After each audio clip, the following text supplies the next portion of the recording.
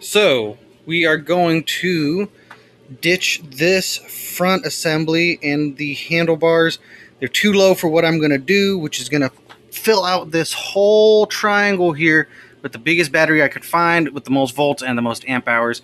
Connect that to a new 20 inch 750 watt 1000 watt e-bike motor uh, gonna update everything keep the derailleur gonna ditch these cranks. They're cool but this is seized the pedal seized in the crank arm.